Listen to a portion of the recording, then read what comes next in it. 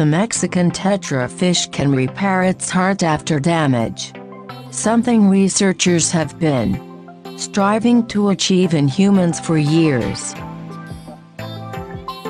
Now, new research funded by the British Heart Foundation BHF, published in Cell Reports, suggests that a gene called LRRC may 10th hold the key to this fish's remarkable ability. People suffering from heart failure can't regenerate their damaged hearts.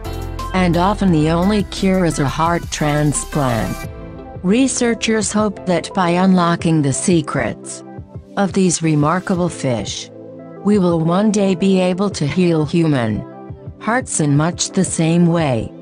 Professor Metin Avkiran, Associate Medical Director at the British Heart Foundation, said. These remarkable findings show how much there is still to learn from the rich tapestry of the natural world. It's particularly interesting that the ability of the river fish to regenerate its heart may arise from an ability to suppress scar formation.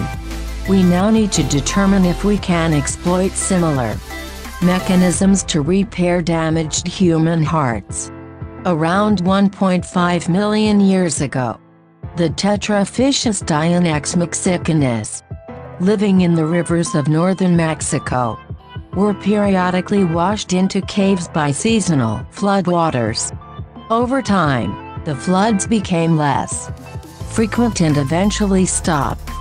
This created the perfect environment for different members of the same species to adapt and evolve to suit their different habitats.